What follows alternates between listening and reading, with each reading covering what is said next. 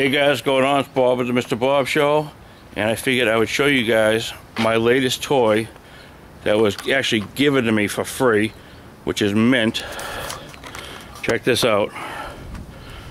Craftsman 13.5 industrial commercial gold okay tractor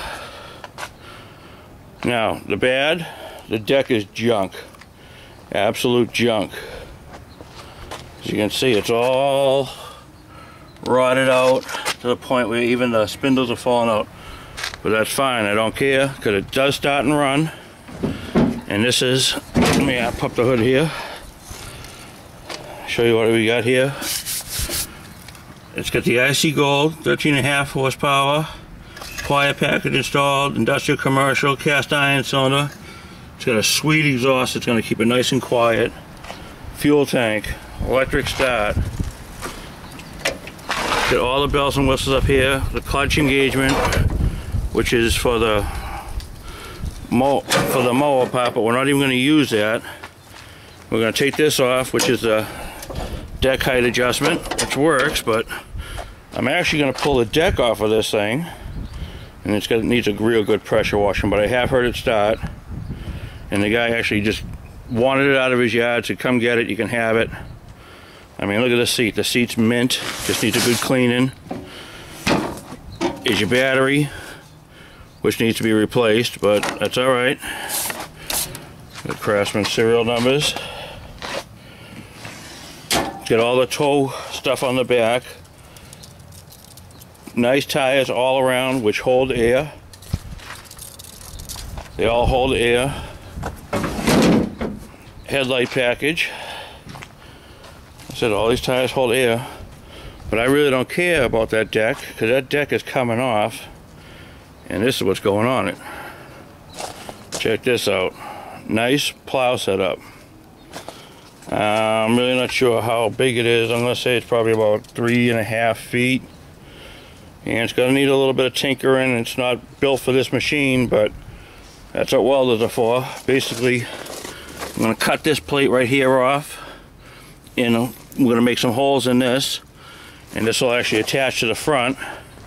Which means I'm going to have to, see this front plate here, I'm going to have to build it out a little bit so we can maintain the, the light section. I might have to cut some of this out, which isn't a big deal. I just use my Dremel, and it actually cuts this plastic stuff pretty good.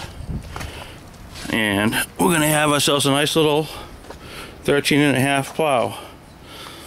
Like I said, here's your choke system. It's a five-speed reverse. And it runs like, uh, the wheels are, I think they're like hydrostatic style hydrostatic style rear end. I don't know how well you can see it. But the belt runs the hydrostatic wheels. Here's your clutch and your brake. But meant the guy actually hooked me up, a guy named Marty, hooked me up with this. And he also gave me, basically I went down to his house and he gave me a trail load of goodies. Uh, the plow came from someone else, but he gave me a nice shop vac. He gave me a Ariens snowblower the Ariens snowblower needs a motor, but that's fine because I got motors sitting around everywhere. Uh, so that's not a big deal. A bug zapper, uh, three or four grills, which were just scrap metal. Um, a couple other things that he hooked me up with. So keep your eyes open for that project because originally what I was going to do is I was going to put it on this right here, the Toro. But I don't think this thing will push snow that well.